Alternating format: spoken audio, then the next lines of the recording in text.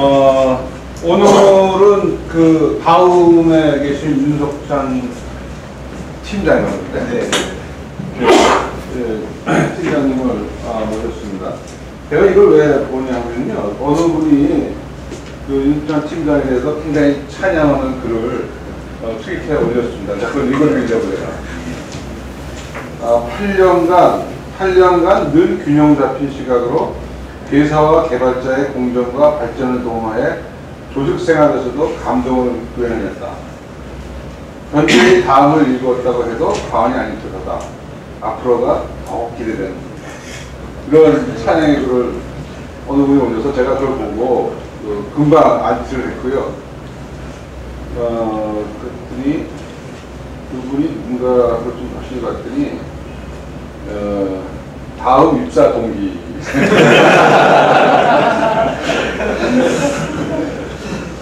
어, 윤석장 팀장을 떠올리면 가슴이 훈훈하다.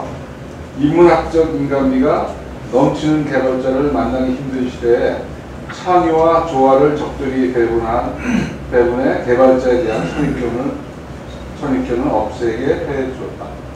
그런 식의 글을 쓰셨습니다. 어, 뭐, 긴 설명이 필요 없는데, 그, 그동안 약간 다음에서 거의, 어, 핵심, 음, 핵심 요원으로 성장을 하셨고요. 다음이 오늘 있을까지 아마 큰 공헌을 주신 걸로 같고, 지금 제주도에 다음 제주도에 있었습니다. 제주도에 계시고, 그리고 거기에서 그 제주대학하고 다음하고 협력하는데 아주 가장 앞장서서 산학 협력을 해주시는 분이에요. 특히 이제 공개 소프트웨어를 이용한 뭐 개발 그런 쪽으로 아주 제주대학에 큰 그 공헌을 하고 계신다고 듣고 있습니다. 우리 저 윤석찬 아, 팀장님 큰 박수를 맞아주시기 바랍니다.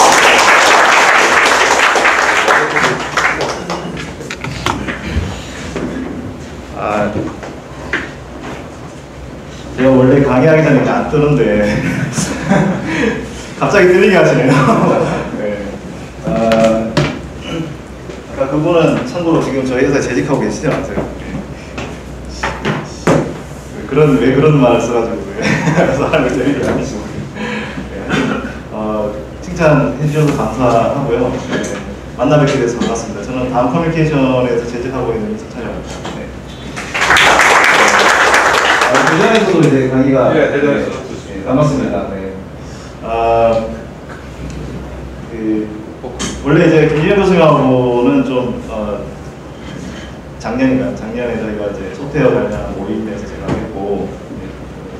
평소에 존경하고 있었는데, 이렇게 또, 이, 그, 학교, 그, 강- 그, 커리큘럼에 불러주셔서 굉장히 감사합니다. 제가 여기 이제 설, 그, 위치가 아닌 것 같아서, 아, 저는 좀, 좀 사양을 했는데, 이제, 그러다 보니까 제일 마지막에 넣어주시더라고요. 제가 겸손하게 오늘 마지막 날이잖아요. 그래서 마지막, 마지막에 그냥. Last is the best. 아, 참. 네, 어, 하게 됐습니다. 아, 제가 오늘 이 말씀드릴 주제는 이제 제가 하고 있는 일입니다. 제가 하고 있는 일이고 또 어, 제가 이제 굉장히 어, 좋아하는 일이에요. 그래서 어, 그에 대해서 좀 설명을 해드리고 어, 그렇게 하려고 어, 합니다. 오픈 API 관련된 얘기를 말씀드리겠습니다.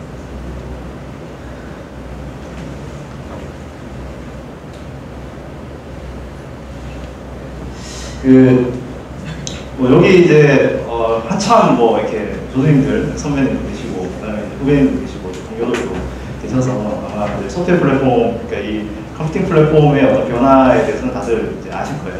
그동안 사실 이, 그, 우리 업의 가장 큰, 어, 힘들면서도 가장 좋은 것 중에 하나가 엄청난 이 그, 컴퓨팅 플랫폼의 변화. 그걸 이제 몸소 체험하신 뭐 세대들, 그 다음에 지금도 한참 체, 체험하고 계신 분들, 다 모여 있- 있으신데, 어, 뭐 이렇게 배워야 할 게 많은 거, 그 다음에 그 격변기를 항상 살았던 뭐 이런 거, 이런 걸 참 떠올려 보면 굉장히 좀, 아, 아, 우리 어떻게 그때 지냈나, 이런 정도로 이렇게 그런 생각도 많이 듭니다. 예. 과거에 이제 메인프레임부터 최근에 이 카운팅까지, 그 다음에 개발, 뭐, COBOL로 이렇게 옛날에 천공기로 뭐 짜셨던 그런 이제 세대들부터 지금 이제, 아, 뭐, JavaScript로 뭐 서버, 어, server side 그 프로그램까지 하는 정도까지 굉장히 다양한 컴퓨팅 변화가 있었는데요. 그 최근 뭐 옛날 얘기는 저도 이제 뭐 할 수 없고요. 저도 어, 나이가 어립니다. 그렇기 때문에 옛날 얘기는 제가 경험하지 못해서 할 수 없고 아, 90년대 정도 돌아가서 한번 최근 얘기들을 좀 한번 되짚어 보려고 합니다. 아, 제가 이제 90, 그 92학번이거든요. 그래서 어, 저때 제가 학교를 다녔고, 학부를 다녔고, 이제 벤처 붐이 막 그, 일어나는 96년도에 저도 벤처, 벤처 업계, 정말 벤처 업계에 이제 신입사원으로 입사를 해가지고, 아, 회사를 한 7년 정도 다녔습니다. 네, 그래서, 어, 흔히 말하는 그 닷컴 버블 시대에 살았었는데, 어, 여기 있는 이제 배- 이, 그, 로고를 보시면 굉장히 친숙하실 거예요. 넷스케이프, 뭐 에어, 익사이트, 야후, Broadcast.com 뭐 지금 아직까지도 전, 전설이 깨지지 않은 전설 중에 하나가 이제 야후가 Broadcast.com을 인수했던 가격입니다. 저 가격이 아직도 어, 사상 최대 금액입니다. 그 IT 업계, 특히 인터넷 업계의 M&A 사상. 네. 저, 저게 뭐 96년도, 7년도 이럴 때죠. 네. 그런데 어, 지금 이 회사들이 보면은 그 90년대 중반에 그러니까 2000년도 닷컴 버블 때 상위 10 사이트, 상위 위그 10대 사이트 들어 있었던 사이트들이에요. 그러니까 그 옛날에 넷스케이프 써가지고 많이 돌아다녔던 그런 사이트인데 지금 보면 아무도 남아있지 않죠. 거의 뭐 이렇게 왕좌를 지키지 못하고. 다들 이렇게 뭐, 어, 그래서 그 되게 이제 저런 인터넷 뭐 인터넷이 한참 버블이 있을 때는 다들 그런 생각이 들었어요. 아 이제 소프트웨어 시대는 어느 정도 저물고 인터넷 시대가 왔구나. 그래서 뭐 그 당시 사실은 밀레니엄 뭐 매드니스라고 그럴 수도 이렇게 사실 2000년대 되면 사람들이 2000년에 뭐 엄청난 그 그거라고 생각할 수도 있었는데 어쨌든 사람들이 아 소프트웨어를 전부 이제 인터넷으로 다 이렇게 막 물갈이를 하고 있었던 그런 시대였었죠. 네, 그때 이제 인터넷 플랫폼을 어, 넘어갈 때 가장 우리가 주목했던 회사가 바로 넷스케이프라고 합니다. 넷스케이프라는 회사는 브라우저 회사면서 서버 소프트웨어를 같이 하던 회사였습니다. 그래서 웹의 서버 어, 플랫, 서버 플랫폼하고 어, 클라이언트의 그 브라우저 플랫폼을 다 잡고 있었기 때문에 그 향후에 인터넷 플랫폼이라고 하면은 아 저 브라우저 플랫폼이 뭔가 그그 차세대 이게 뭐 플랫폼을 장악할 거다. 그래서 사실은 그때 이제 뭐 마이크로소프트도 아 뭐 브라우저 만들어야 되겠다 해가지고 뭐 인터넷 익스플로러 만들고 막 그랬던 시대가 있었죠. 근데 사실은 닷컴버블이 꺼지면서 가장 그 격하게 망했던 회사라고 하는 것도 이제 이 넷스케이프라는 회사. 그래서 이 소프트웨어 플랫폼이 사실은 닷컴버블이 꺼지면서 많은 사람들이 아, 이 그, 인터넷 플랫폼이 이제는 뭐 더 이상 성장하지 못할 거다. 어, 이렇게 생각을 많이 했었어요. 근데 한국을 끝나고 난 다음에도 살아남은 기업도 있습니다. 네. 이게 이제, 어, 지금의 이제 또 엄청나게 또 많은 그 사람들이 해자하고 있는 회사들이죠. 구글, 아마존, 이데이. 이런 회사들이 닷컴북이 끝나고도 어, 살아남았고요. 그래서 사람들이 그, 왜 이런 회사들이 이게 뭐, 그 야후라든지 뭐, MSN이라든지 라이프스라든지 뭐 이런, 이런, AOL 이런 회사도 망했는데 이, 사- 이 회사들이 왜 살아남았을까? 이렇게 어, 생각을 많이 했어요. 사실은 그 구글 같은 경우에는 이게 검색회사, 검색회사잖아요. 실제로 얘네들은 그 야후에다가 검색 그 솔루션을 검색 그웹 검색 엔진을 팔고 난 다음에 그걸로 돈을 버는. 그리고 이제 아마존은 뭐잘 아시다시피 뭐 쇼핑몰 사이트고 이베이는 사실은 이제 옥션 주 하는 사이트죠. 근데 이 이런 사이트들이 사실은 좀 살아남은 것이 사실, 사실 좀 신기하기도 하고 도대체 어떤 이유 때문에 얘네들이 살아남았나 이런 어떤 의문을 많이 갖게 됐어요. 그래서 그게 그런 것들을 의문을 좀 풀려고 어, 2004년도부터 이제 그 웹 2.0 컨퍼런스라는 이제 컨퍼런스가 있었는데 그 컨퍼런스 2004년도에 팀 오라일리가 이런 어, 닷컴버블 이후에도 살아남은 기업들을 모아가지고 너들 어떻게 살아남았냐 이런 얘기를 듣기 위해서 만든 컨퍼런스가 웹2.0 컨퍼런스였습니다. 근데 지금 이제 우리가 웹 2.0이면 엄청 옛, 옛날 얘기 뭐 들리시잖아요. 2005년도면 우리나라에서 6, 한 5년 전에 이제 막 한참 얘기했던 그런 그, 그 뭐랄까요 그 buzzword들이었었거든요. 근데 사실은 웹 2.0이라는 건뭐 실체가 있는 게 아니고 그냥 컨퍼런스 이름이었었어요.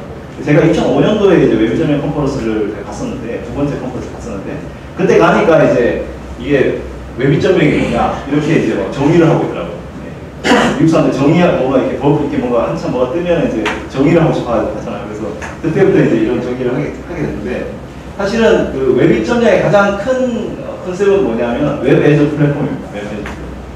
그러니까 Web as a Platform이라고 하는 것은 뭐냐면 우리가 웹을 동안에는 어떻게 봤냐면 그전에는 그냥 정보를 유통하는 그냥 수단으로 봤어요. 그러니까 잡지 텍스트와 이미지를 웹에 옮겨놓고 그걸 사람들이 읽고 사실은 웹의 처음 시작도 논문을 어, 써내서 논문을 이렇게 어, share하고 뭐그 정보를 이렇게 share하기 위해서 뭘 만든 거고 HTML도 마찬가지고 그래서 사람들 되게 정보 유통의 그 정보 공유의 방향으로 텍스트 document를 공유하는 방향으로 웹을 생각을 했던 거죠.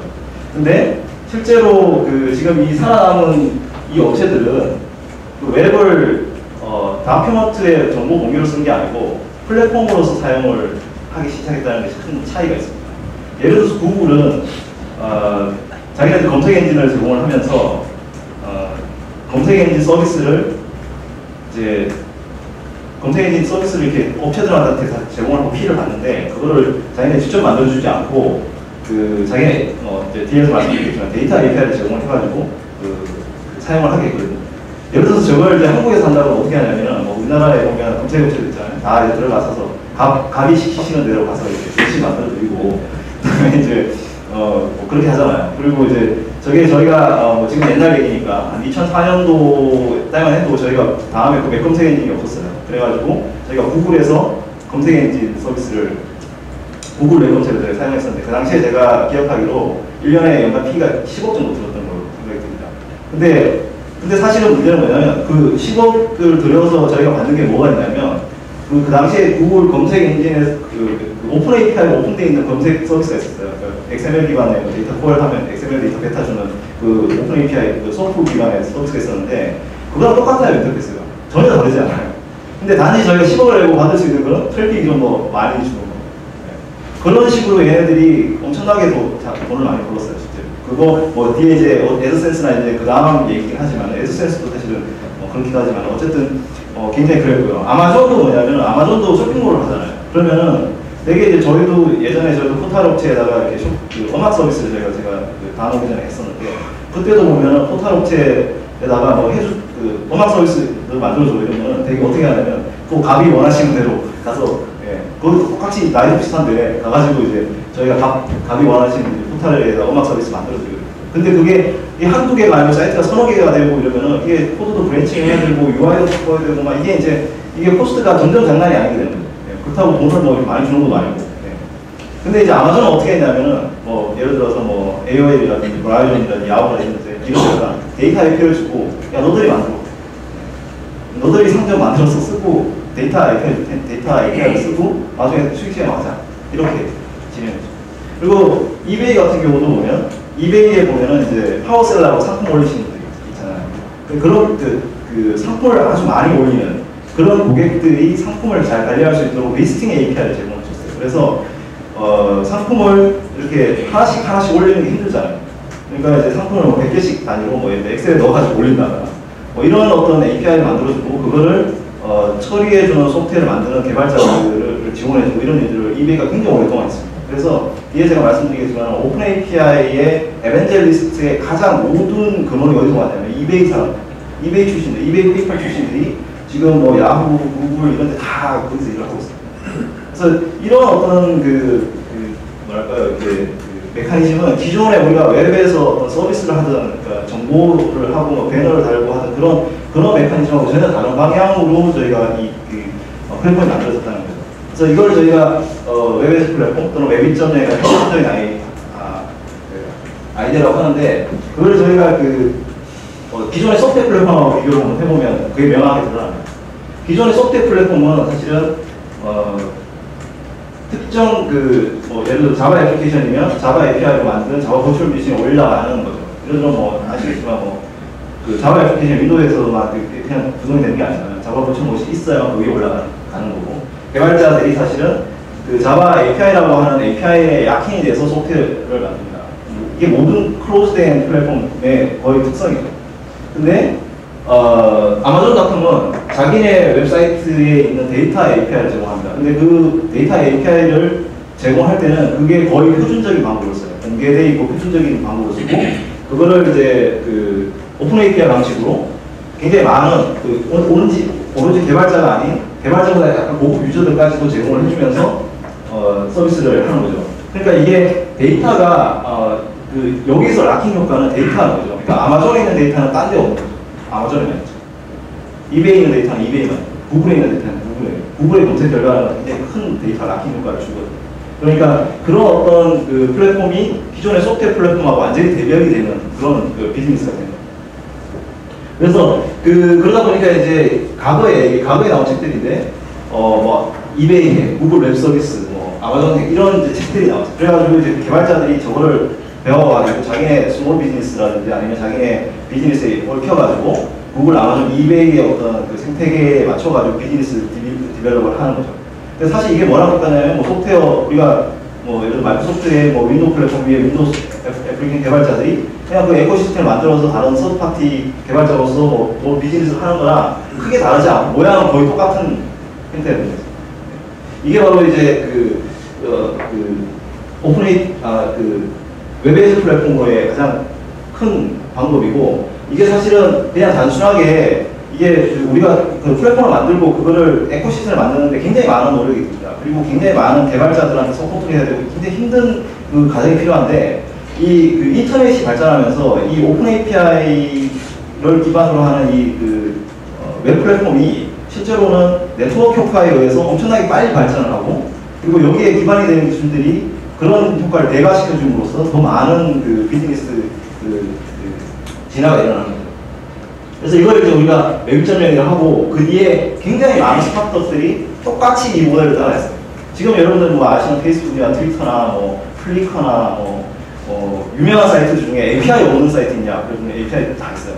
그게 다 왜 그러냐면 그 당시에 창업을 하면서 아 이 회사들이 이렇게 어, open API로 개발을 하면 개발자도 빨리 모으고 걔네들이 서드 파티로 비즈니스를 해주면 엄청나게 어 그 우리 그 effect 데이터 lock-in effect가 클 거다라는 거를 감, 간파를 하고 이제 open API 부분을 이제 굉장히 강화하였죠. 사실 가장 대표적인 게 바로 어, 페이스북이라고 할 수 있습니다. 지금 페이스북에 있는 어, 앱 플랫폼들 다 거의 뭐 open API에 준하게 개발이 되고 있고 사실은 페이스북이 주로 성장한 것도 여기 보시면 이제 플랫폼 앱을 만든 그 시점이 사실은 어, 가장 큰 그 성공 포인트가 됐다고 할 수 있습니다.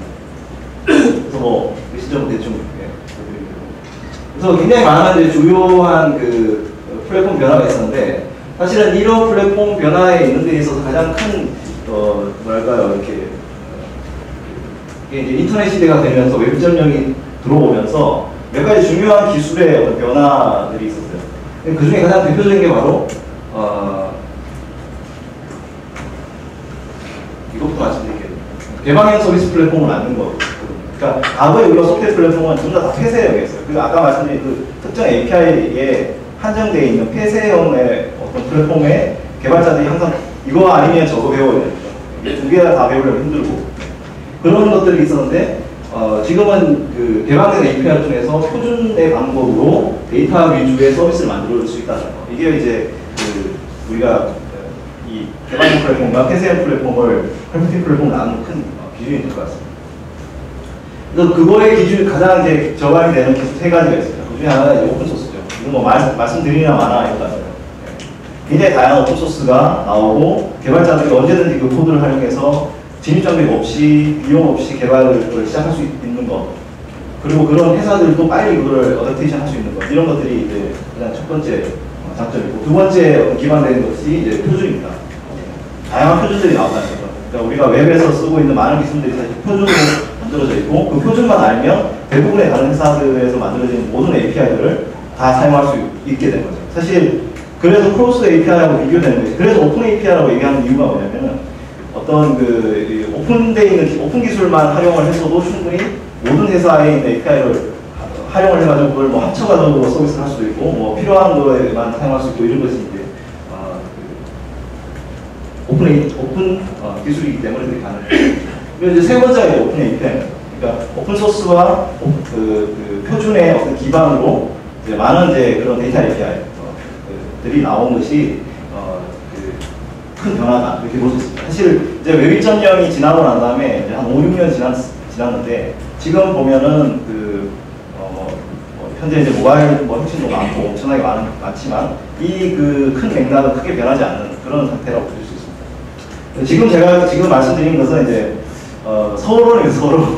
예, 제가 뒤에 말씀드리기 위해서 좀 뭔가 좀 이렇게 어, 다 아시는 내용들을 좀 밑밥을 깔았다고 생각하시면 되고요. 제가 오늘 말씀드린 것은 어, 이 open API에 대해서 조금 더 자세하게 말씀드릴 거예요. open API, 그다음에 open API가 어떻게 어, 사용이 됐고, 그다음에 이제 여기 뭐 일부 개발하시는 분들이 계시면 구현을 하는 데 있어서의 어떤 그냥 유의할 점, 저, 음, 이런 것들 그리고 어, open API 기반으로 하고 있는 이제 그 개발자 ecosystem을 만드는 방법 이런 것들에 대해서 간략하게 소개해드리고요. 저희가 지금 하고 있는 다음에서의 open API도 소개해드리겠습니다. 예, open API라고 이제 위키피디아에다 검색을 해보면 대충 이렇게 나옵니다. 예. 그래서 뭐 REST, SOAP, JavaScript 뭐 이런 기술들을 활용을 해가지고 어, 그, 어, 다른 그 사이트와 할 수 있는 웹사이트 기술들을 이제 open API라고 합니다. 그냥 이제 아주 general하게 어, 이렇게 돼 있고요. 근데 이제 어, 그 로버트 스코블이 이제 굉장히 유명한 블로거죠. 이 사람이 어, 한 말을 제가 quotation을 해보면 어, 94년도에는 그 도메인과 웹페이지가 있었다. 2000년도에는 어, 그, 그걸 사람들이 사용하도록 이렇게 했고 2010년도에는 어, 그 페이지에서 없애고 API를 써서 사람들이 어, API를 사용하게 된다. 뭐 이렇게 이제 크게 정리를 했습니다. 이게 굉장히 변화, 큰 변화를 한마디로 이렇게 얘기할 수 있었던 거니까. 근데 이제 오픈 API가 그러면 어, 뭐, 뭐 시운타는데 얼마나 쉽냐 이렇게 얘기할 수 있는데 굉장히 쉽습니다. 그냥 요청하고 그냥 그걸 파싱해서 사용하면 되는 그냥 그런 이런 세 단계로 그렇지. 어, 기본적으로 이제 이게 API에서 제가 아, 99번째 트윗, 트윗을 제가 얻어오는 콜입니다. 오픈 그 트위터에 API 콜을 가보면 이제 그 음, 트위터 API가 나옵니다. 근데 이제 제가 1번부터 쭉 해봤어요. 99번까지. 해봤는데 1번부터 99번까지 없더라고요. 이게 99번이 첫 번째 트윗, 트윗이에요. 사실상. 예. 그냥 모르겠어요. DB를 뭐 지웠는지 그냥 모르겠는데 어쨌든 99번째 트윗을 보면 뭐라고 되어 있냐면 이제 그 트위터 코파운더 저 비즈스톤이 뭐라고 이제 어제 저기 그 지진이 났는데 지진 거 배우고 있다. 뭐, 뭐왜 지진 났는지 알아보고. 뭐 이런 이런 거죠. 이런 게 이제 2000 어, 2006년도 3월 22일 날 예, 아, 99번째 트윗 내용이고 딱 보시면 개발자들 딱 보시면 아 이게 한눈에 딱 보이죠. 그러니까 리더블 하죠. 예. 이게 그냥 이렇게 그냥 결과가 나옵니다. 그러면 이거를 이게 이제 제이선 포맷으로 이제 뭐 딱 보시면 이제 객체 이렇게 표현이 있죠. 그래서 이거를 딱 하싱을 해서 바로 사용을 해서 어 그런 이렇게 뭐 예를 들어 뭐 mobile phone이나 그냥 아니면 웹사이트나 이런 데 바로 사용을 하- 사용을 하는 겁니다. 이게 이제 그냥 끝이에요. 너무 간단하죠. 근데 왜 open API 쓰냐? 왜 open API 쓰냐? 근데 이제 어, 어, 창업자 또는 비즈니스 관점에서 보면은 그 사실 그, 그, 그, 그 이런 그 회사를 이렇게 operate하는 데 있어서 굉장히 다양한 그 cost도 있잖아요. 그 중에 이제 그런 비용들 중에 그 어떤 그 다양한 그 제가 내가 원하는 아이디어를 구현하고 싶은데 뭐 데이터도 부족하고 뭐 자원 asset도 부족하고 이랬을 때 가장 그 쉽게 open API를 사용할 수 있습니다. 특히 뭐 다음에 지도라든지 다음에 검색 결과라든지 구글의 검색 결과라든지 이런 모든 자원을 그대로 활용할 수 있어요. 앱을 만드는 사람도 그냥 지도에 뭘 표시하고 싶으면 구글 지도 쓰면 되는 되는 거죠. 그런 식으로 어, 쉽게 그런 것들을 할 수 있고요. 그리고 이제 그 API를 만약에 우리가 만약에 만들었다. 네, 서비스를 실제로 만들었는데 API를 만들면 주변에 지금 현재 개발하고 있는 우리 회사의 개발자들이 있으면 그 개발자들 말고도 그 우리 서비스를 사용하는 그런 그걸 이용해서 뭔가를 만드는 우리 편의 개발자들이 만들어진다는 거죠. 그러니까 어, 우리를 도와주는 우리 편의 사람들을 만들 수 있다는 거. 그게 가장 큰 그 장점 중에 하나입니다. 그래서 팬보이를 만든다는 거죠. 뭐 애플처럼 이렇게 소프트웨어를 잘 만들, 그 아주 미묘하게 디자인을 잘 만들어서도 팬보이를 만들지만 구글처럼 이렇게 오픈 API를 잘 만들어서 어, 뭐 구글 지도나 뭐 이런 거 쓰는 사람들의 팬보이도 많습니다. 그리고 이제 뭐 어, 실제로 이렇게 만들어 놓으면은 어, 이 실제로 창업하는 사람들 같은 경우에 이제 투자자들한테 뭐 어필할 수 있죠. 그냥 우리 그 우리 그 API 플랫폼을 쓰는 개발자가 뭐 100명 있습니다. 네, 얘네들 얘네들 있기 때문에 우리가 안 죽습니다. 뭐 이런 식으로 어필할 수 있으니까 굉장히 도움이 되죠. 그래서 그 그래서 예전에 웹 2.0 스타트업이 한참 붐일 때 걔네들이 딴 거는 홈페이지를 안 만들어도 오픈 API를, 만- API를 만들어서 개발자들 제공해주고 이런 일들이 많이 있었어요. 그래서 이제 우리가 API의 그 증가 속도를 한번 보면은 뭐 그 오픈 API가 실제로 이제 막 이렇게 막 이게 오픈을 하기 시작한 게 사실 한 2005년도 정도. 그때부터 해서 지금 어 보시면 그 빠른 속도로 증가하고 있죠. 이게 이제 오픈 API를 어, 서비스를 제공하는 개수거든요.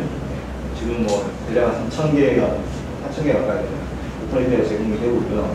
어, 가장 많은 API를 사용하시는 거 보면은 이게 이제 작년 지난 3월에 제가 캡처를 한 건데 어, 구글 맵이 39%로 많이 씁니다. 그건데 그다음에 트위터, 유튜브, 플리커, 아마존, 페이스북 뭐 이렇게 쭉 있는데 보시면 이게 대형 회사만 쓰는 게 아니에요. 대형 회사 많이 구글, 뭐 아마존, 이베이가 제일 많이 많겠지라고 생각할지 모르지만 실제로 보면 트위터, 뭐 트위터는 당연히 많은 거라고 생각하시겠죠.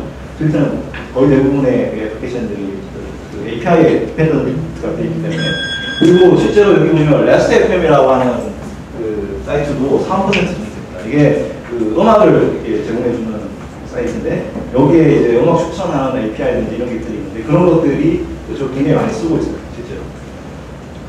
그래서 어 그냥 이렇게 대형 업체들만 오픈 API에 혜택을 보는 게 아니고요. 이 작은 스타트업들도 어, 실제로 오픈 API 혜택을 보고 그걸 가지고 비즈니스 develop을 한다라는 것을 알 수 있을 수가 있어요. 근데 제가 이제 오픈 2005년도에 이제 어, 그 웹전에 컨퍼런스 가고 난 다음에 그 오픈 API 그리고 API 비즈니스를 하는 그런 얘기들 evangelist들하고 뭐그 컨퍼런스에서 얘기 좀 해보고 야 이게 이게 해야 되겠다 이거 네. 그런 생각이 들었어요. 그래가지고 어, 2006년에 다음에서 이제 오픈 API를 준비를 하면서 다른 분들은 어떻게 도대체 어떻게 어, 하는지 좀 구경을 해야 되겠다. 그래가지고 제가 2006년에 그 미국의 이베이 개발자 컨퍼런스를 가봤습니다. 제가 그때 그때 이게 찍은 그때 라스베가스에서 이제 이베이 개발자 컨퍼런스 하는데 그, 그 당시에 개발자 컨퍼런스를 하고 있던 회사가 이베이밖에 없었어요.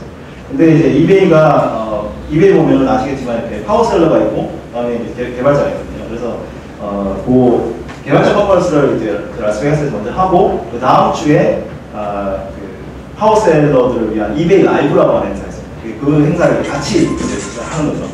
그래서 이제 갔더니 어, 제가 이제 뭐 동영상 준비를 안 했는데 굉장히 제가 감격적인 걸 했는데 어떤 거였냐면 컨퍼런스 이렇게 하기 열리기 전에 문을 이렇게 닫아놓잖아요.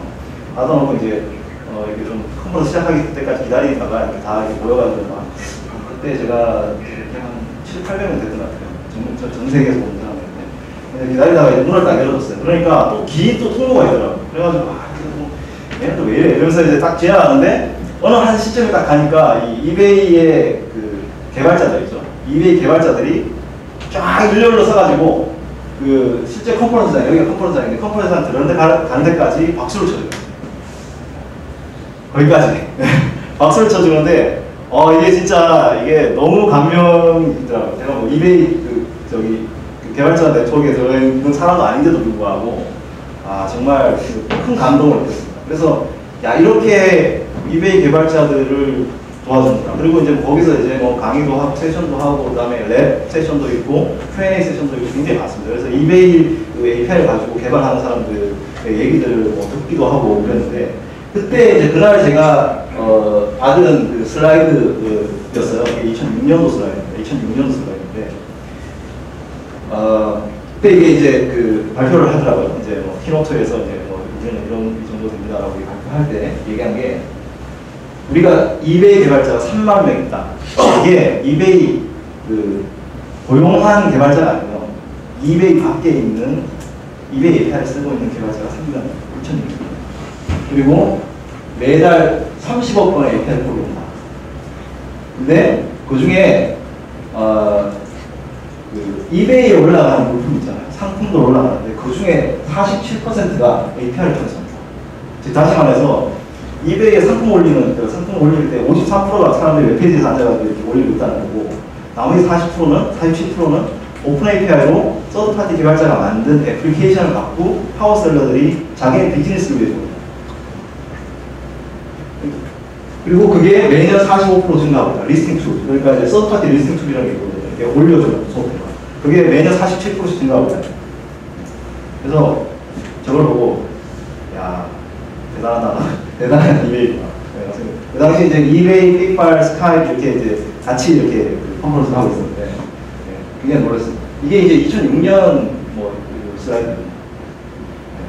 네. 지금 어떨지, 어떨지 한번 생각해 보세요. 진짜 뭐 장난이 아니죠. 지금은 이제 그래서 그거를 어, 그 billion club이라고 불러요. 그래서 오픈 API의 call을 많이 받는 그 10억 그 클럽에 해당되는 사이트인데, 근데 이것도 굉장히 옛날 데이터입니다. 이게 이제 장, 2011년 5월, 뭐 2010년, 2009년 이렇게 데이터인데 트위터가 하루에 130억 call을 작년 11월에 하고 11월. 그리고 넷플릭스가 한 달에 여기 뭐 조금 이제 트위터하고는 다르니까 성격이 어, 100억 call이 작년 11월에, 아니 2011년 1월에 그리고 아마존이 어, 지금 아마존 웹서비스를 하잖아요. 거기에 이제 아마존 웹서비스에 이제 그 저장 데이터를 저장을 하는 그 storage가 있는데 거기에 2,600억 object, 그러니까 파일들이나 이런 것들이 S3에 저장이 돼 있고 뭐 이렇게 장난이 아닌 그 숫자들이 나옵니다. 그 장, 2009년도 10월 달에 뭐 50억, 50억의 대포를 나왔는데 지금은 뭐 이건 뭐 상상도 초월할 정도로 나올 생각했을 거라고 예상이 되는데 이렇게 billion club이라고 할, 할 정도로 데이터 API를 제공하는 것이 이 얘들, 얘네들의 핵심 비즈니스가 서비스를 만드는 핵심 비즈니스. 그래서 어 이제 뭐 구글이라든지 야후라든지 아니면은 뭐 페이스북이라든지 이런 회사들이 개발자 이런 third party 개발자들한테 뭔가 어, 그 독려를 하고 그걸 가지고 앱을 만들고 그걸 통해서 자기네들의 영향력을 넓히는 그런 활동을 하고 있고요. 뭐 예를 들어서 뭐 뉴욕의 이제 이 블룸버그 시장은 자기네 뉴욕에 있는 뉴욕시에 있는 공공 API를 오픈을 해가지고 그걸 가지고 애플리케이션 경진대회도 열고 뭐 이런 것들이 뭐 요즘에는 그냥 아주 일반적인 일로 어, 지금 진행이 되고 있습니다.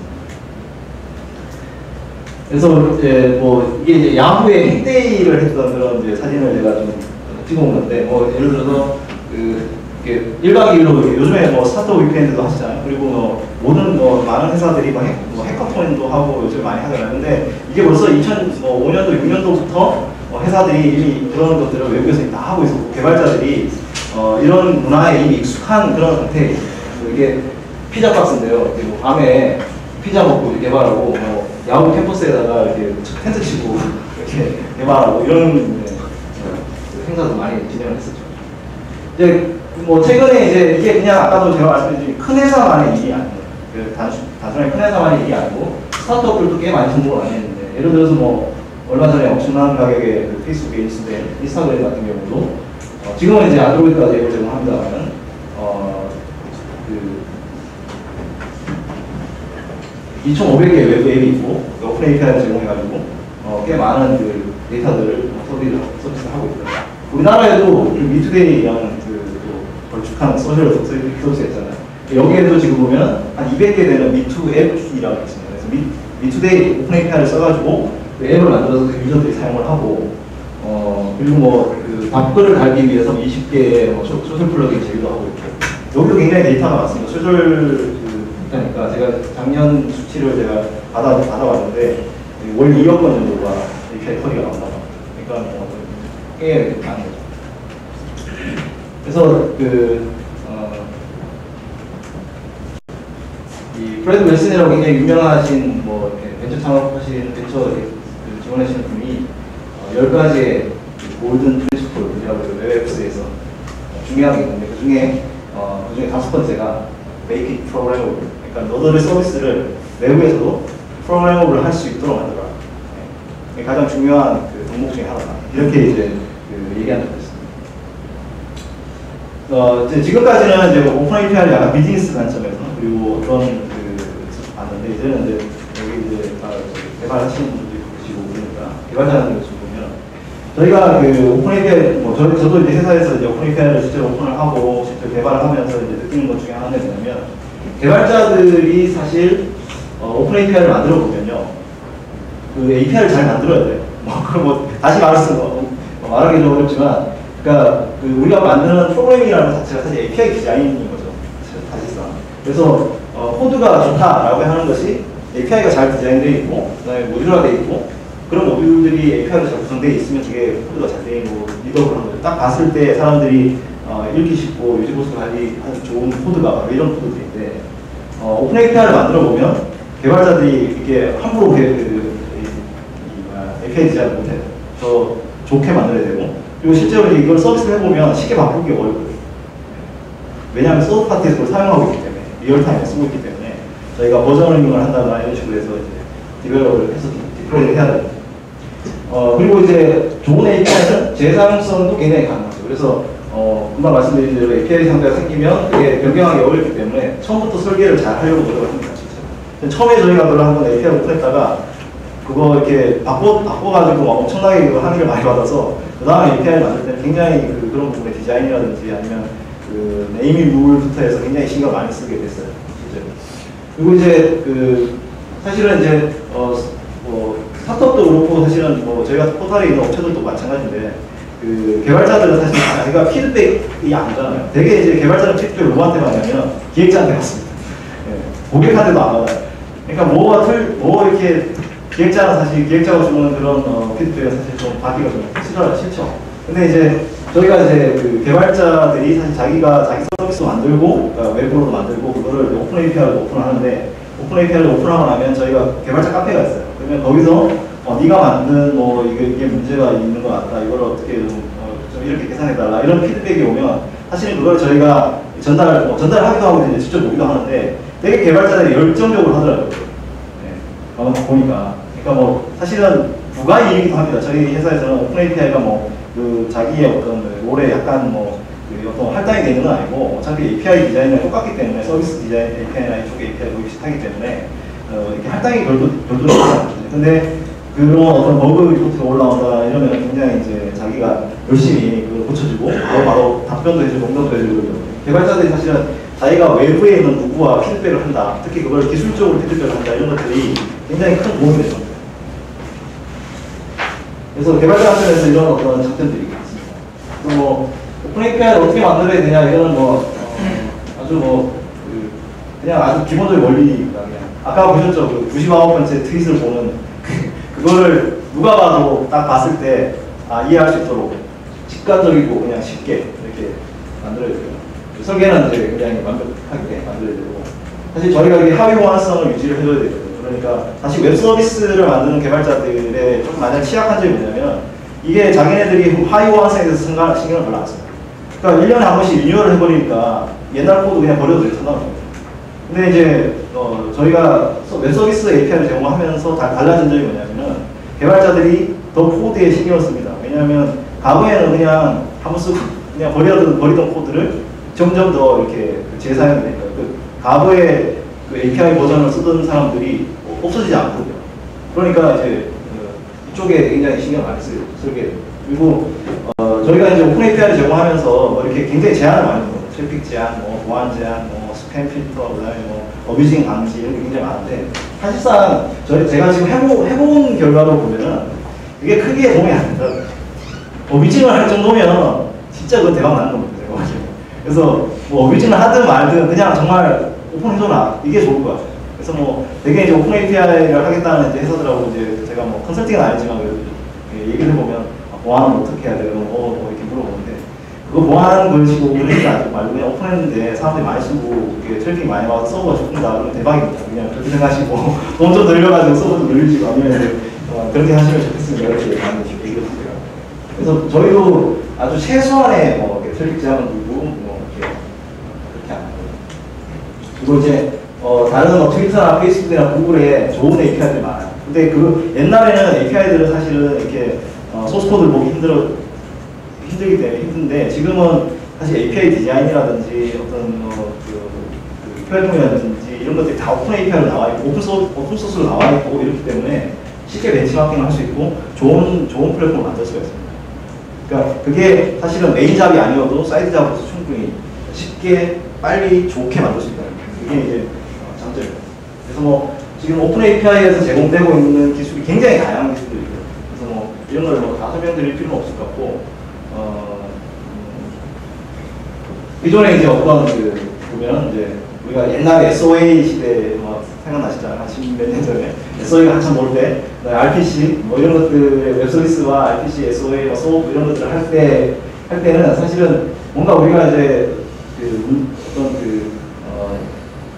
데이터를 제공을 할 때 뭔가 완결된 어떤 방법 그걸 많이 이제 고민 많이 했는데 사실은 웹이라는 것이 사실 잘 아시겠지만 사람과 기계가 사실은 반반 정도 일을 합니다.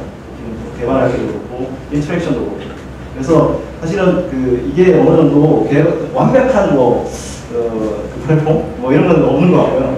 왜- 그래서 최근에 이제 레스트풀한 API를 많이 쓰는 이유도 사실은 그 아주 간단하고 별거 아닌 것처럼 보이지만 그냥 상태만 제공해주느냐 뭐 그런 프로토콜이지만은 어, 그 거의 뭐 8, 90% 이상은 레스트풀한 API를 사용하고 있습니다.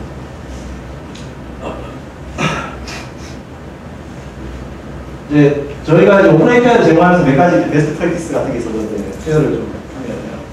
어, 아까 이제 읽기 쉬워야 된다라는 부분들이 있었잖아요. 그래서 그 URL 같은 걸 표현을 할때 어, 객체 표현 방법을 쓴다라는 거. 그게 이제 어, 쉽게 읽어서 개발자들이 쉽게 개발할 수 있도록 네, 하기 위해서 뭐 그런 거고요.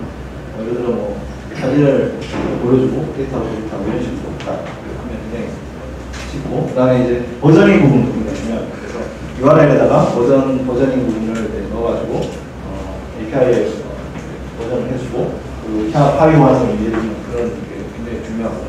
그리고 당연히 이거는 이제 어, 웹서비스 개발자들이 잘 안 하는 것 중에 하나입니다. 왜냐하면 웹서비스 개발자들은 에러 나면 그냥 403 페이지나 이런 데로 보내면 되는데, 예. 근데 이제 어, 이 개발자들한테 제공해주는 API이기 때문에 개발자들이 그 에러가 어떤 에러인지 정확하게 그 파악을 해야 되거든요. 그래서 아주 세세하게 error handling을 해주게 됩니다.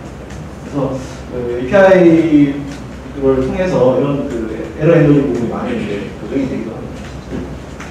그리고 이제 어, 다양한 표준 포맷들을 사용하는데 최근에는 JSON 아까 제가 보여드린 이 JavaScript Object Notation이 제일 많이 사용이 되고요. 거의 뭐 표준화됐어요. 그래서 옛날에는 뭐 XML도 많이 쓰고 아, RSS 같은 것도 좀 쓰고 이랬는데 요즘에는 이제 거의 JSON으로 이렇게 표준이 돼서 왜냐하면 JSON으로 만들어진 그 뱉어 내는 그 결과는 XML로 만들기 쉬워요. 근데 이제 그 역은 좀 어렵더라고요.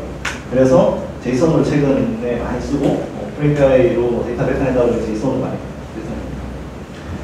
아 그리고 이제 뭐 보안 아까 뭐 제가 보안 뭐 할 필요 있겠냐 이렇게 말씀드리긴 했지만 그래도 어, 필수는 아니지만 그래도 몇 가지 중요한 거 예를 들어 사용자 인증이 있는 경우 그럴 경우에는 이제 OAuth라고 하는 보안 프로토콜이 있고요. 그 보안 프로토콜을 표준적으로 쓰고 있어요. 트위터나 페이스북에 여러분들이 이제 그 소셜 네트워크 쓰실 때 앱을 한 번씩 이렇게 추가하실 때 쓰는 그, 그 프로토콜이 OAuth라고 하는 프로토콜인데 그건 뭐 거의 전 세계적으로 표준화돼 있어요.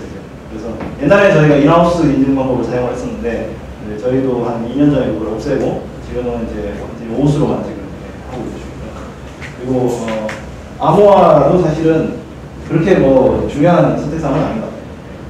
왜냐하면 이 그 예를 들어 저희가 지금 카페 API나 블로그 API 이런 거 제공을 하는데 예를 들어 블로그 API 블로그 글을 쓰거나 업데이트하거나 이런 것들을 저희가 API를 제공해 주거든요. 그래서 서드 파티 뭐 앱이나 아니면 서비스에서 그거를 자기 블로그를 관리할 수 있습니다, 실제로. 근데 그거를 할 때 보면 저희가 delete라든지 이런 옵션은 안 주고 있어요. 그러니까 뭐냐면 그게 실수로 글을 지웠을 때 생기는 문제가 분명히 존재하기 때문에 뭐 캘린더 같은 데도 보면은 어, item delete 이런 걸 안 줍니다. 예. 근데 item delete를 어, 신뢰된 제휴사들한테는 제공을 하고 그냥 이제 주로 view하고 add하고 update하는 부분들은 이제 제공해 주는데 그런 어떤 고려사항도 필요해요. 그래서 그 API를 함부로 오용이 안 되도록 이게- 개발자도 그렇고 아니면 사용자가 어떤 애플리케이션의 어떤 그 third party 애플리케이션의 문제로 인해서 오용돼가지고 데이터가 삭제되는 어떤 문제가 생길 수 있기 때문에 어, 그런 부분들은 이제 그 많이 안 하고 그다음에 또 그 가급적이면 아주 이렇게 critical한 개인정보에 거의 해당되는 그런 데이터들은 API를 오픈하지 않는 상태입니다. 예를 들어서 저희가 주소록 API를 갖고. 한메일 주소록 API를 갖고 있는데 그거는 이제 저희가 open API를 제공을 하지 않고 어, 그 제휴 API로만 제공해요. 그래서 여러분들이 혹시 트위터에서 그 친구 찾기 이런 거 할때 아니면 뭐 구글 뭐, 뭐, 뭐 이렇게 한메일에서 이렇게 친구한테 받아가지고 친구 신청하고 하는 그 게 있잖아요. 근데 그, 그것도 이제 저희가 어, 제휴로, 제휴로 제공해주고 있습니다. 한메일 주소가. 그러니까 open API가 없으니까 없는 줄 아는데 대개 이제 이런 종류의 모든 API들은 거의 밑에 제휴로 다 제공이 되고 있는 그런 됩니다. 그래서 음, 최근에는 이제 어, 그 개발 이 open API를 제공해주는 개발 framework도 많아졌어요. 그래서 뭐 어, REST를 지원하는 프로젝트 어, framework나 뭐 Django나 뭐 Ruby on Rails로 실제 open API를 제공을 해줄 수도 있고, 그다음에 뭐 Node.js 같은 경우에도 이제 open API 그냥 기본으로. 그러니까 뭐 예를 들어서 뭐 우리가 어떤 기능을 제공 서비스를 만들면 open API 인터페이스가 자동으로 나오는 거죠. 이렇게 이제 돼 있고요. 어, 특히 이제 해외에서도 보면 아예 이게 오픈 API를 퍼블리싱을 해주는 third party 이 업체들이 있고 있어요. 그러니까 너도 open API 제공하기 힘들잖아. 그러면은 우리한테 그냥 와. 그러면 우리가 뭐 키 제어도 해주고 홍보도 해주고 다 해줄게. 이렇게 해주는 그런 플랫폼 회사도 있습니다. Mashery라는 Mashery 같은 회사도 그런 회사들인데 어, 그 여기 이제 그 가면은 이제 얘들한테 월 얼마씩 주고 그다음에 이제 내 오픈 API를 캐싱도 해줘요. 그, 그 데이터 뭐 이렇게 저희 서버가 막 부하가 많은지 모르니까 데이터 caching을 해주면 이제 걔네들 이제 서비스 해주는 그런 형태의 이제 어, 서비스 해주고 있고 뭐 API 웨이드스닷컴에 가면 service provider들이 굉장히 많이 있어요. 최근에 그 많이 하고 있는 사업 중에 또 하나 되게 이제 그 인간 가면 이제, 이제 청바지 파는 사람들이 항상 있잖아요. 네. 그래서 그런 거고 어 아까 이제 오스는 아까 보여드린 대로 이렇게 뭐 트위터나 이런 앱 third party 앱을 사용할 때이 사용자 인증을 받을 때 쓰는 표준 방법이고 나중에 혹시 이제 여러분들이 그런 앱을 만드시거나 서비스 하게 되면 오스 같은 거 됩니다. 그래서 이게, 이게 왜 그러냐면 그러면 사용자의 아이디 패스워드 같은 그런 개인정보 같은 건 아니야 전혀 괜찮습니다. 여러분들 만약에 앱에 이렇게 그걸 클릭을 하면 그 아이디 패스워드 같은 게 전혀 가지 않고 오로지 그 기능을 access할 수 있는 토큰 하나만 서드 파티가 갖게 됩니다. 그래서 그 서드 파티로 트위터에 글도 쓰고 뭐 트위터에 글도 삭제하고 이런 이런 이런지 뭐 아, 비밀번호를 바꾼다거나 이런 기능은 못해요. 그런 기능은 아예 없기 때문에 돼. 그래서 이런 토큰 하나만 이제 서비스까지 제공이 되고 원하시면 그 트위터의 그앱 뭐 앱에 가서 뭐 자기 서비스 중지 이래 버리면 이 토큰이 만료가 돼요. 그래가지고 서드 파티에서 더 이상 여러분들 그, 그 프로- 프로필이나 이런 데 액세스가 안 되죠. 그런 식으로 이제 어, opt- opt-out을 할 수 있도록 그렇게 돼 있습니다. 어, 이제 그리고 이제 또 중요한 것은 이제 어, documentation입니다. 이 개발자들이 많이 싫어하는 부분인데 그래서 뭐 reference라든지 변경 기록이라든지 샘플이라든지 코드 뭐 play라든지 이런 이런 이제 요구들을 많이 제공을 해줘야 됩니다. 그래서 이게 단순히 개발로 끝나는 게 아니고 웹 서비스라는 게 사실 서비스 만들어 끝나는 게 많은데 open API를 제공해 줌으로써 생기는 그 부수적인 일들이 너무 많아요. documentation 해줘야 되고 코드 샘플도 만들어줘야 되고 그러니까 사실은 과거의 소프트웨어 플랫폼에서 하던 그런 일들 거의 뭐 하고 있다고 보시면 되고 그 다음에 이제 뭐 기술 지원 하는 것들 뭐 이런 것들도 많이 사용하고 있습니다. 그리고 뭐 오타 DevDay라든지 code jam이라든지 뭐 개발자 컨퍼런스 이런 데서 개발자들하고 만나서 컴- 이 open API를 사용하게 해주고 자기네들이 만든 애플리케이션을 저희가 이렇게 어, 홍보도 해주고 그 다음에 이제 제휴로 저희가 비즈니스로 풀어주기도 하고 이런 일들을 많이 하고 있습니다. 그래서 이제 뭐 혹시 이제 open API에 관심이 있으신 분들 그래서 API를 만들어서 third party 개발자들한테 어떻게 도와 도와 도와주면 좋을까 라고 하는데 관심 있으신 분은 어, 이 개발자 지원 핸드북이라고 하는 그 어, 있습니다. 이게 이제 구글에서 그 evangelist, 그 technical evangelist 오랫동안 일했던 카밀라 맥스라는 그 여자 그 evangelist가 자기 경험을 이렇게 documentation 했어요. 그래서 그거를 저희가 번역을 한국어로 번역을. 저희 팀에서 왜냐면 저희 팀도 그 일을 하기 때문에 저희 팀에서 이제 나눠서 번역을 해가지고 제가 지금 제공을 하고 있습니다. 구글에 노트를 보시면 문서를 받아보실 수 PDF도 있고. 한번 읽어보시면 재미있어요. 어떻게 하면 어떻게 이제 하는지 이런 것들이 다 있습니다. 네. 어, 근데 이제 개발자가 어딘지 모르잖아요. 개발자들을 지원을 해줘야 되는데, 뭐 개발자 찾아가지고 얘네들을 뭐 불러서 어떻게 해줘야 되는데, 그런 게 없었습니다. 소녀시대를 이렇게 콘서트라도 하면 좀 좋을 텐데, 뭐 돈이 너무 많이 드니까. 네. 대세는 이제 소녀시대가 아니고, GitHub이라고 하는 사이트에서 어, 요즘 많이 지원하고 있습니다. 어, 이제 이 사이트는 그 open source, 그러니까 open source로 만들어진 Git이라고 하는 분산 source control이 있습니다. 어, 여러분들 이제 CVS나 Subversion은 익숙하실 텐데, 어, Git이라고 하는 것은 이제 좀잘 모르실 텐데, 이게 어, 아시는 분 아시겠죠? 예. 분산형 그 source control이고, 이거를 이제 그 리누스 토발즈가 그 리눅스 kernel 개발을 위해서 만든 자기는 직접 만들었어요. 왜냐면 서버 쓰다가 너무 열받아가지고 아씨 내가 만들어야지 이래가지고 새로 만든 게 Git이라고 하는 거였어요. 그래서 Git은 뭐냐면은 이제 그 개발자들이 각각 레퍼런스를 가질 수 있습니다.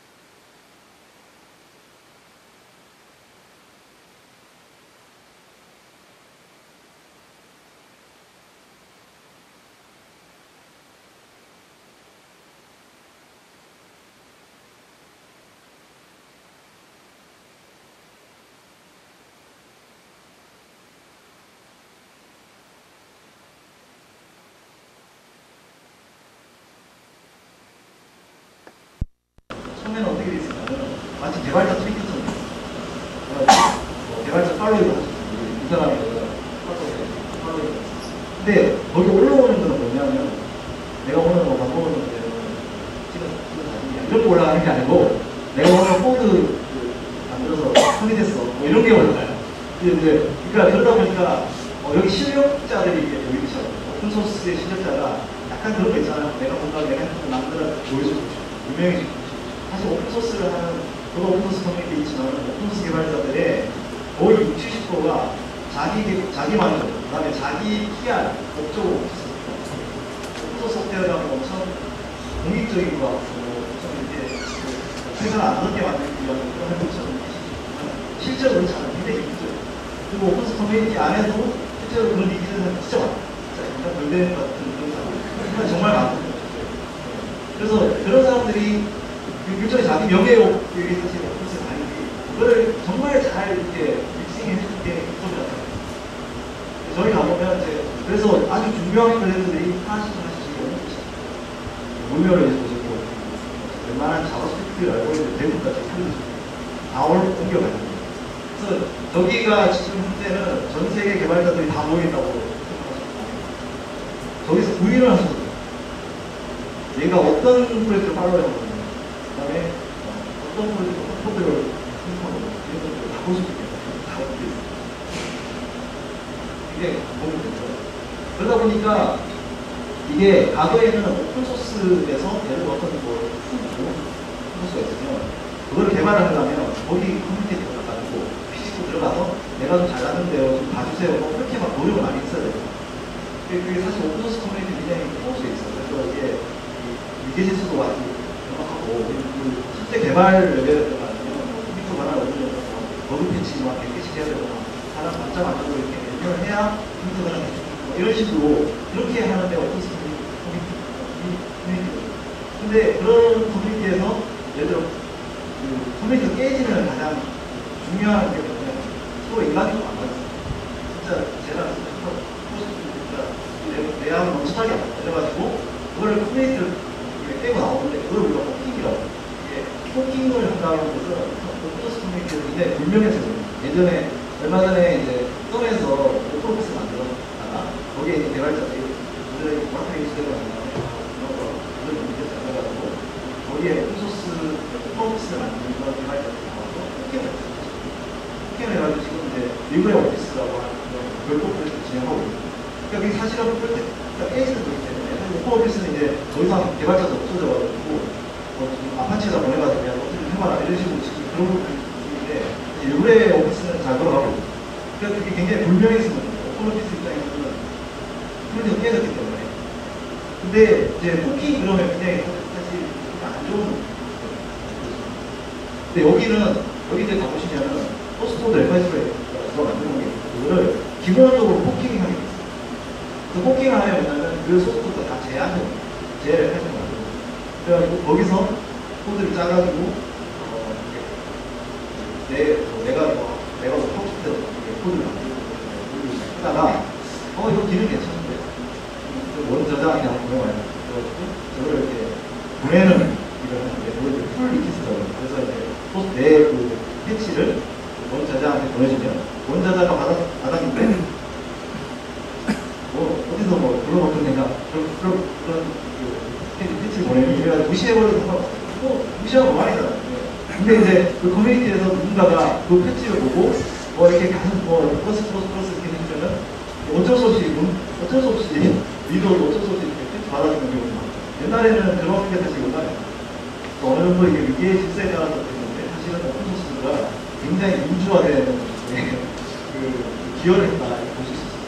그래서, 그래서 개발자들이 굉장히 좋아하는데, 제가 이제 GitHub에 대해서 오래, 오래 얘기를 했는데, 어, 그만큼 중요합니다. 그래서 지금, 어, open API를 제공하는 많은 회사들이 그 GitHub에다가 reference를 만들고, 거기다 샘플 코드 제공하고, 그리고 자기네들 뭐, 개발자들 라이브러리도 제공하고, 개발자들한테 피드백하고, 그런 일도 많은 거죠.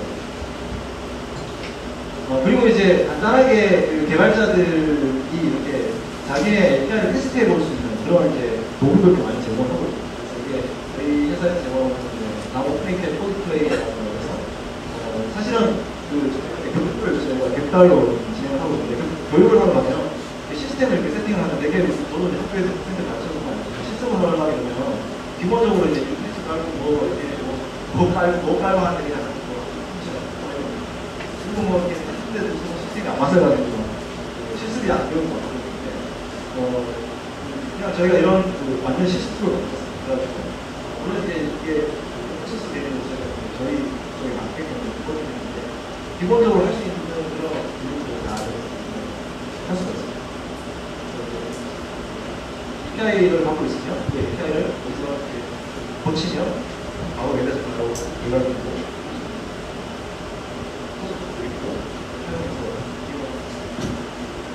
그리고 이제 가장 또 중요한 것 중 하나가 이제 많이들 이게 사실은 과거의 소프트웨어 플랫폼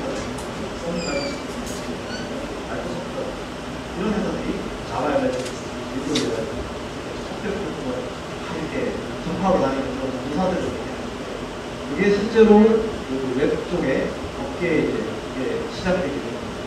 이게 어, 사실은 거의 그 웹업계에 가장 최초의 웹업계를 나온 델러프 넷work이라고 하는 그 사이트가 편의시설인데 만드셔서 야후의 어플리케이션을 엄청나게 많이 나왔어요. 아마존 웹 서비스 그리고 뭔가 구글에도 보면은 구글 디벨로퍼 사이트에 가보시면 그 지금 프로덕에 따라 가지고 다 얘네들 지도, 어, 구글 앱스, 모바일, 엑셀 파일, 파워포인트 거기에 다그 기본적인 레지스트리 여기 전 세계적으로 하는 100명 정도 그리고 각 지역별로 커뮤니티 매니저 어, 이게 굉장히 이게 뭐 아주 오래된 그런 일이 아니에요.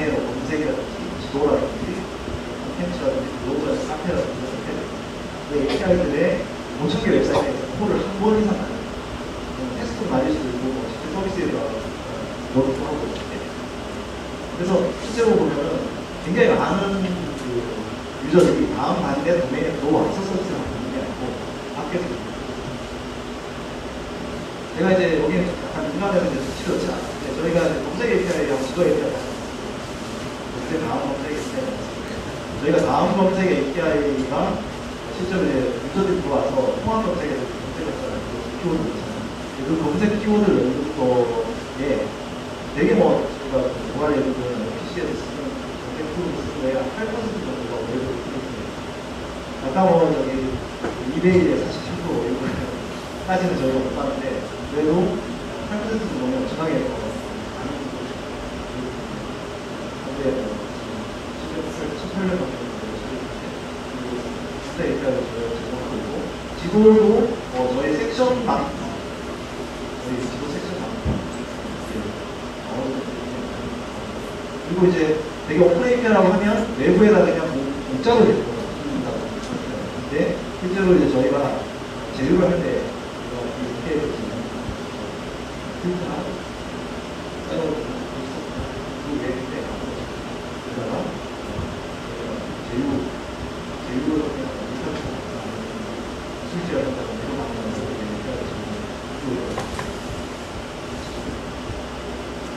이제 그리고 이제 저희가 많이 하 저희 팀에서 이제 많이 하는 일들이 외부 개발자들하고 만나 이게 이제 2007년도에 저희가 개발 제가 2006년도에 개발자 사이트 만들고 2007년도에 개발자 행사를 했어요 처음으로. 어, 근데 그때도 그게 처음일 거예요. 근데 뭐였냐면 이제 1박 2일로 밤새 보니까 택배 행사를 했거든요. DevNight라고 해서 리브 나이트라고.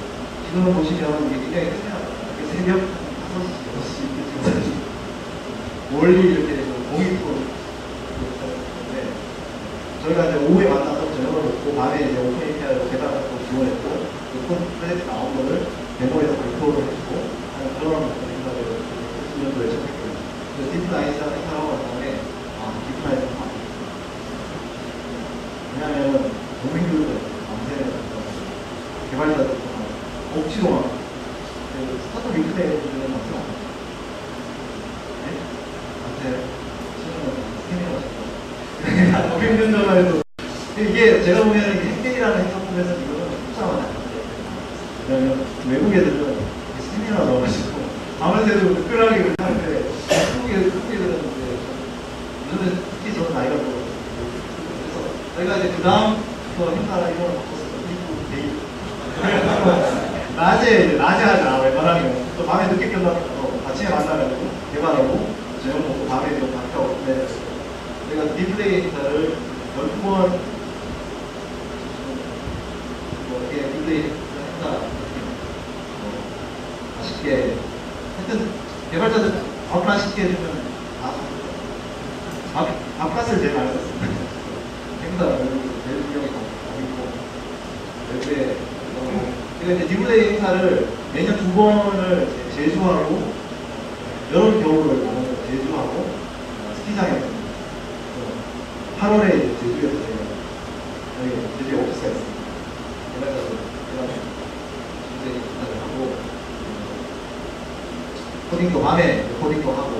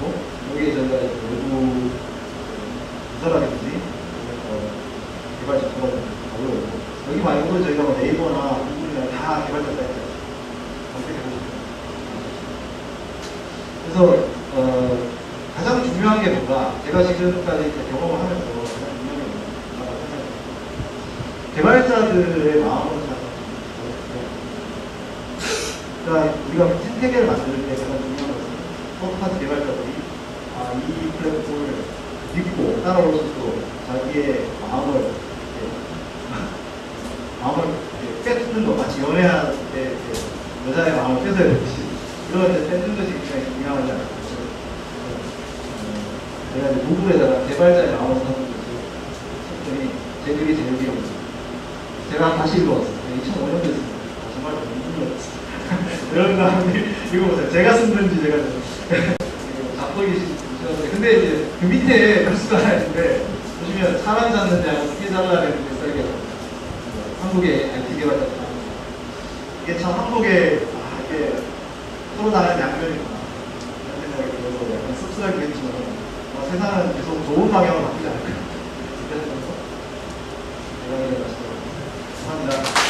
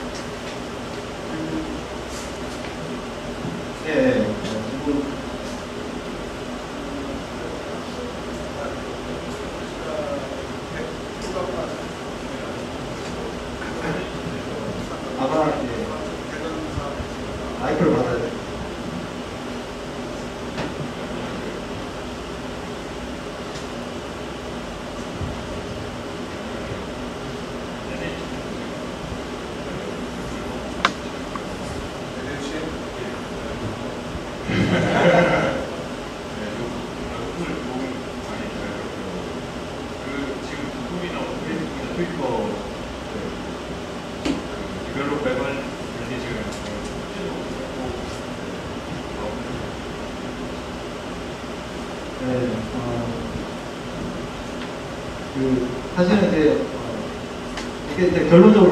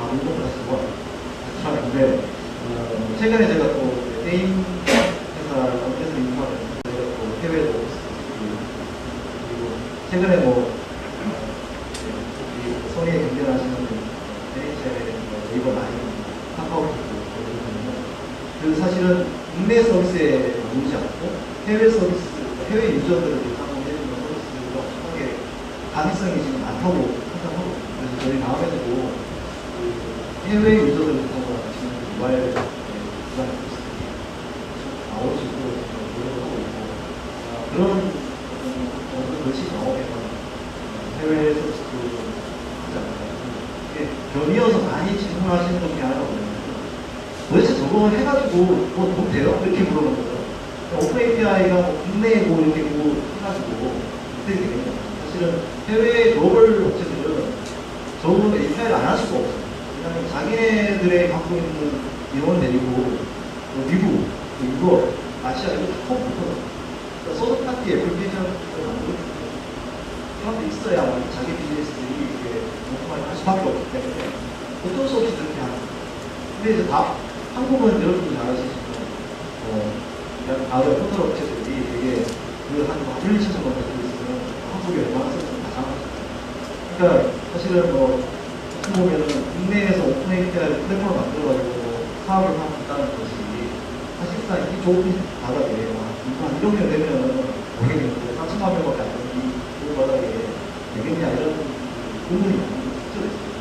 실제로 저희가 그 사업의 어떤 그 시장의 어떤 규모에 의해서 문제들이 많습니다. 근데 이게 그 저희가 이제 한 7년을 하면서 느끼는 점은 어떤 거냐면 어, 굉장히 많은 side effect가 있어요. 물론 그게 비즈니스적으로 특히 포탈 같은 경우에는 저희가 이런 API를 돈도 팔고 다이 원상 제공 제공 유료로 제공해주고 있지 않아요. 최근에 이제 구글이나 이런 업체들이 이제 지도 이제 유료로 하고 이런 이런 어떤 그런 움직임이 있는데 그래가지고 다들 뭐 오픈스트리트에서 다 버리고 근데 어쨌든 저희가 유상으로 제공, 제공하지 않고 유상으로 제공함으로써 다음 내부에서 오는 그 개발적인 약간 그런 이익도 있고 제휴를 할 때 어떤 이익도 있습니다. 옛날에는 제휴를 하면 어떻게 했냐 아까 얘기했던 바빌 관계에서 뭔가 너는 그걸 만들어 이런 어떤 방법으로 다 있을 텐데 지금은 제휴를 하면 다 API가 됩니다. 그러다 보니까 다 저희 팀을 찾습니다. 왜냐하면 저희가 데이트가 되고. 또 나도에 제가 팀 처음에 만들면 두 명이 있어요. 저랑 한 명. 이 저희가 지금 여섯 여섯 명이 타요. 그러니까 지금 다양한 서비스 팀을 지도하는 로컬도 있어요. 어떻게 됐어요? 굉장히 많은 요청이 그 외에도 이렇게 그런 거 있- 그런 애들이 아니고 들어와가지고 저거 많이 했어요. 근데 이게 이제 그 눈에 보이는 뭐 유료 비즈니스 모델이 나오진 않아요. 그런데 그 어떤 플랫폼을 확장하고 저희가 제휴를 높이고 해서 이게 뭐 좋은 의미의 네, 좋은 의미로 생각해 주시죠. 좋은 의미의 데이터 락킹을 만들어서 그 에코시스템을 만드는 데 굉장히 큰 도움이 되지 않을까. 한국에서도 이거를 뭐 너무 잘했는데 API야 이렇게 이렇게 이런 이런 이런 있는데 어, 충분히 의미 있는 부분입니다.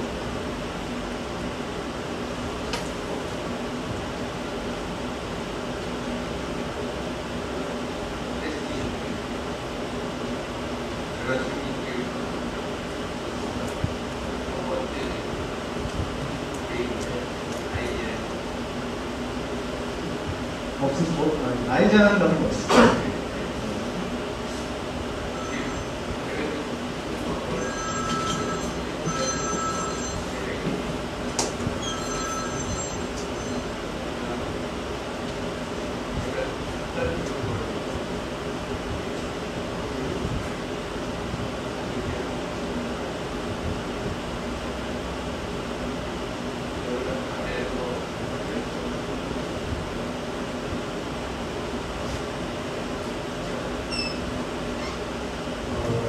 귀지 굉장히 independent하고, 아니, 그러니까 independent하고, 그러니까 어떤 language에서도 상관이 없습니다. 그리고 그 그냥 S4를 던지고 데이터를 그냥 가지고 하시는 쓰는 거기 때문에 language 아무 상관이 없어요. 단지 이제 그 개발자들이 이제 개발 시스템이 많죠. 모 데이터, 모 레스토랑 그걸 해야 돼요. 그래서 그거를 도와주기 위한 알고리즘이 있기 때문에 특히 이제 잘된 open API 서비스 provider한테 가면 이런 자기네 그 API를 컨트롤할 수 있는 알고리즘가 굉장히 다양해요. 개발자들이 만들어준 것도 있고 그 회사 직접 제공해 주는 것도 있고 모든 랭귀지, PHP, 파이썬, 서브, 루비, 뭐 자스크립트에 대해서 다 안내 Java를 다 만들어야 이게 어, 사실 근데 그거를 저희도 거의 그 합의해가지고 저희 코어에 맞춰서 맞추기만 하는 거고 그냥 또 금방 바꿔줄 수 있는 알고리즘 그런 생각이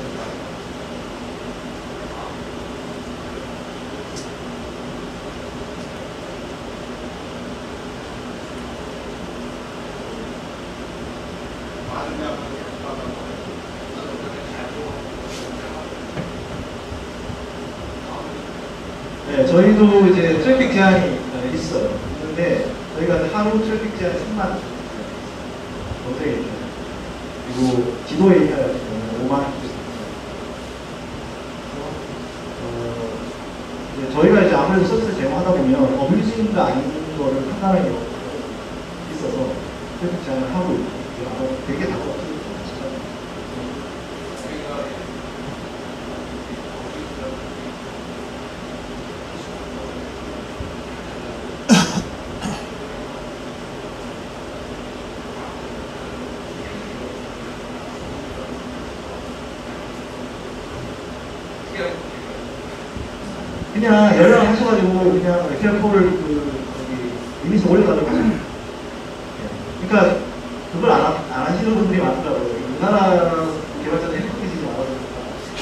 빠져나가라고 그렇게 많이 하시는데 그냥 달라고 하시면 그냥 다 드려요. 그냥 설명 다 올려드립니다. 저희가 이거 하고 왔거든요. 지금 이제 뭐 많이 쓰는 저희가 검색 얘기가 많이 쓰는 게 중학교들이 학교 도서관들 같은 경우는 소지 정보가 내가 이렇게 헷갈리는 때문에 학생들한테 내가 좀 실수가 되거든요. 책보지나 이런 것들이 없어서 그 소지 정보, ISBN 넘버를 갖고 있는 거랑 또 사람들 그냥 저희가 먼저 하는 거예요. 하루에 꼬리 그 모델 같은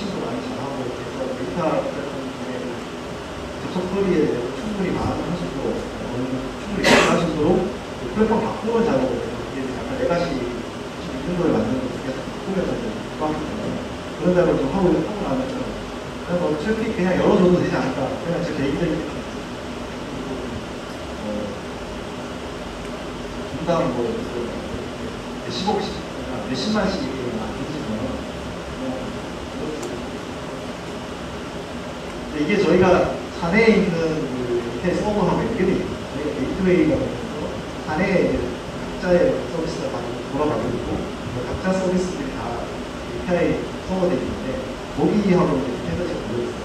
그러다 보니까 저희가 이제 그런 부분을 좀 제어를 하려고 향후 저희가 생각하고 있는 그런 API들만 따로 파트를 모아서 안에 조금 구축하고 그거를 이제 외부에서 저희가 다 모아서 그런 걸 이렇게 사실은 2005년도, 4년도, 5년도에 그 아마존에서 했던 일. 아마존에서 사실은 파워를, 파워 기반의 아마존 서비스를 만들 때, 어, 그때 뭐 기사가 나와 있습니다만, 제프 베조스가 어, 뭐라고 얘기했냐면, 그러니까 이제 앞으로 우리 회사에서는 뭐, 뭐 무슨 어떤 일을 할 때마다 인터페이스나 API, 데이터 API를 작년인가 저희가 기본 공개할 때 이렇게 백준 대표님 그죠? 대단하셨어요. 근데 김여준님께서 뭐라고 하셨는데 내 꿈은 우리 회사에 모든 데이터가 API로 익시되고 그렇게 어, 모든 일이 이어지는 것이 정말 내 꿈이다. 그런 믿으시면서 그래서 앞으로는 우리 회사의 모든 개발자뿐만 아니고 마케터, 뭐 디렉터, 기획자 다 language를 하시고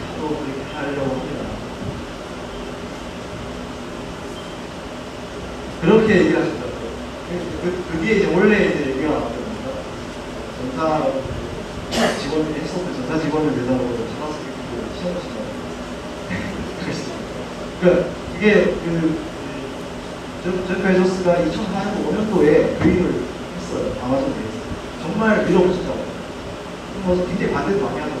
예를 들어서 나는 서비스 하나 만들었는데 거기서 거기서 내 API 확보를 하면 제가 서비스를 하기 위해서 정부에 이렇게 그 서버 request 받고 있는데 제가 막 내가 다 쓰는 거예요. 내거 서비스 하기 바쁜데 제가 다 쓰니까. 그러니까 이게 뭐 어떻게 할 수가 없죠.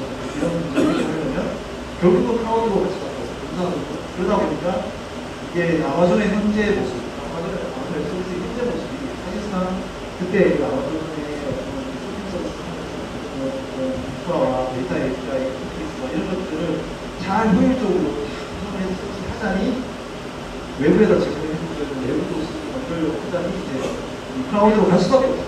제가 보기엔 아마존에서 현재는 그, 그 당시에 그, 그 계기, 그게 바로 약이고 사실은 그런 혁신이 사실은 그 많은 회사에서 일어나야 되는데 어, 저희도 이제 좀 늦지만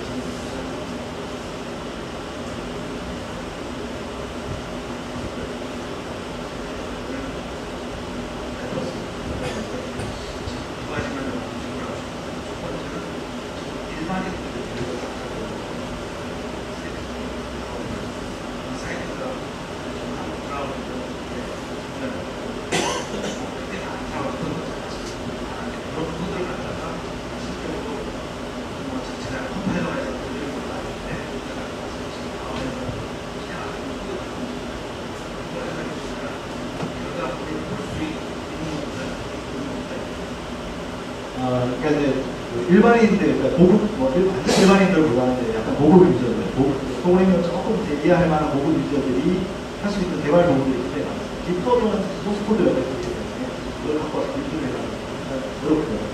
아까 Code Playground라든지 아니면 옛날에 저희가 mashup 같은 걸 제대로 해줄 수 있는 Yahoo Pipes라든지 이런 서비스들이 아직까지 서비스가 되고 있습니다. 그러니까 open API에다가 뭔가 코드를 해서 그거를 mashup까지 뭔가 새로운 결과를 얻고 하는 실험적으로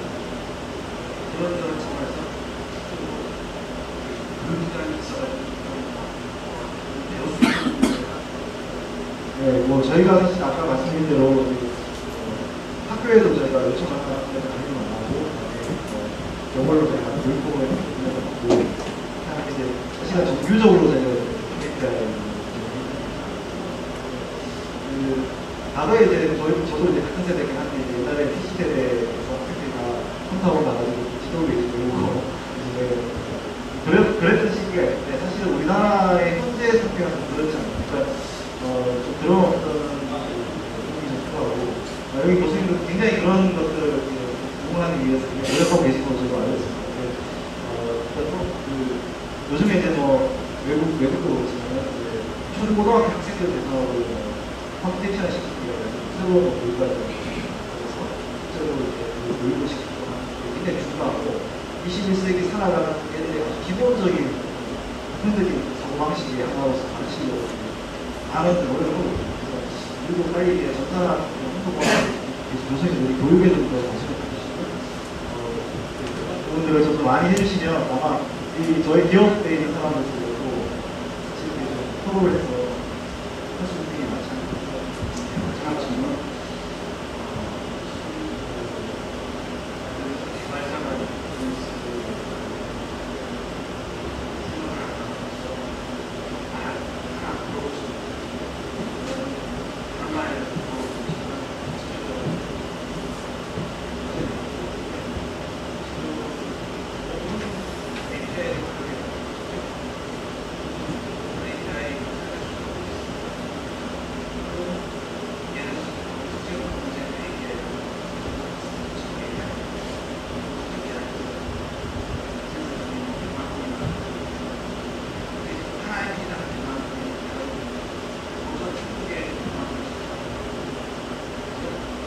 어, 지도 같은 경우는 이제 노도 틀려서 PC에서 지도를 표현하니까 이렇게 나오기도 하고요.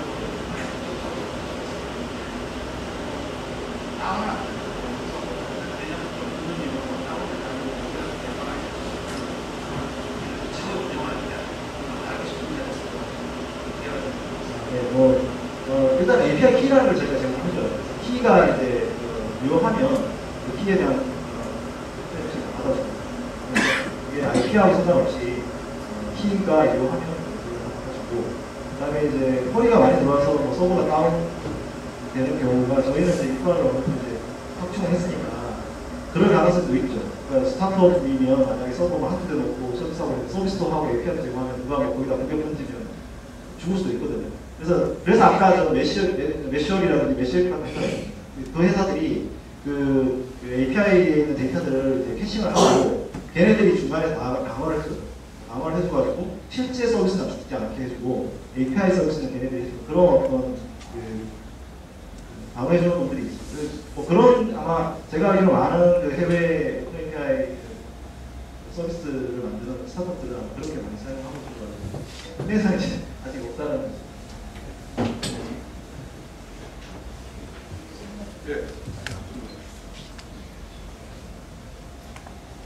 아, 네, SK 마케팅 부분이 보조이라고 질문드리고 싶은 게 한국이라는 나라에서 그 개발자를 실제로 회사가 hire하는 경우는 혹시 어, 어느 정도 규모가 되지 않아서 매출을 많이 여쭤봤음에도 그렇게 되면 뭐 API라는 것들을 통해서 자신들의 웹 서비스를 받고 빼고 싶어도 웹 SI를 통해서 개발을 할 경우에는 사실은 그 책임들을 질 수가 없기 때문에 개발사도 그걸 받아들이지 않고 그리고 이제 급사라고 하는 것들도 더 쉽게 결정하지 못하는 그런 부분들이 있는 것 같거든요.